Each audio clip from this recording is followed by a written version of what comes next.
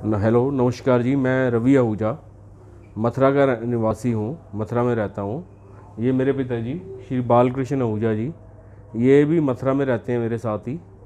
ये पिछले एक साल से कान की समस्या से पीड़ित थे और इनको कान में इन्फेक्शन हो गया था लेफ़्ट ईयर में इन्फेक्शन हो गया था। मैं इनको यहाँ पर दिल्ली के और और गुड़गांव में कई अस्पतालों में ले गया। जहाँ पर वो सिर्फ़ दवाइयाँ लिख के दे देते थे और उससे प्रॉब्लम का हल नहीं निकल रहा था। उसके बाद फिर फरीदाबाद भी ले गया, मेट्रो में ले गया, वहाँ पर हार्ट का भी, में भी इन्फेक्शन आ गया था, वो फिर किया, लेकिन कान की जो प्रॉब्लम है, वो जस की तस बनी रही। वो सिर्फ़ गोलियों से दे देते थे पेन किलर और उससे प्रॉब्लम जो है मतलब एक रात दर्द नहीं होता था, फिर दर्द होता था और बहुत ज़्यादा दर्द होता था, इतना पेन की असहनीय होता था इनसे। उसके बाद हम लोग मेरा बेटा यहाँ पर नोएडा में पढ़ता है बैनर्ड यूनिवर्सिटी में। उसके एक फ्रेंड यहाँ का गुड़गांव का निवासी है। उसने हमें बताया कि आप इस अस्पताल में जाएँ। उसकी मदर का भी इधर इलाज हुआ था और अभी शायद चल भी रहा है थोड़ा सा। तो वहाँ पर डॉक्टर साहब मनीष प्रकाश जी बहुत ही मतलब अच्छी तरीके से ऑपरेशन करते हैं और दवाइयाँ भी दिखते हैं और देखते भी हैं।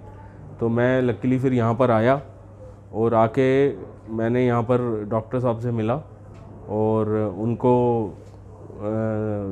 अपने पिताजी के बारे में बताया तो उन्होंने कहा, उनको लेके आइए और मैं यहाँ पर सारी जांचें करूँगा और सारा कुछ फिर मैं अगले दिन इनको यहाँ पर लेके आया और यहाँ पर इनकी सारी जांचें हुई और जांचों के बाद उन्होंने बताया कि इनका कान का उल्टे कान का ऑपरेशन होगा, उसमें बैक्टीरिया आ गया है। बैक्टीरियल इन्फेक्शन टाइप की प्रॉब्लम है। तो फिर उनका जो ऑपरेशन है वो उल्टे कान का सक्सेसफुल हुआ।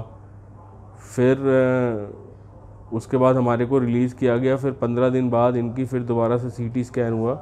तो ये पता चला कि साइनस में भी इन्फेक्शन है। तो आज, कल हमारा, कल यानी कि आठ अगस्त 2022 को साइनस का भी ऑपरेशन उन्होंने सक्सेसफुली किया। बलप्रीत जी भी साथ में थे, बलप्रीत जी ने भी किया और श्री मनीष प्रकाश जी ने भी किया डॉक्टर साहब ने। तो अब ये बेटर फील कर रहे हैं।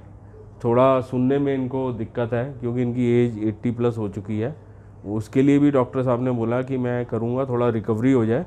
उसके बाद इनको जो भी हेयरिंग एड्स वगैरह जो भी प्रोवाइड कराएँगे, वो बताएँगे, जैसे है।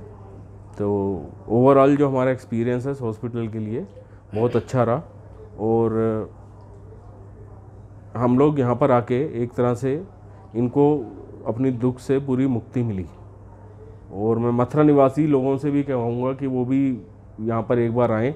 अपना यहाँ पर अ, सिर्फ़ हार्ट का ये लोग में डील नहीं करते हैं। और सारी समस्याओं का यहाँ निवारण उनको सक्सेसफुली मिलेगा। धन्यवाद।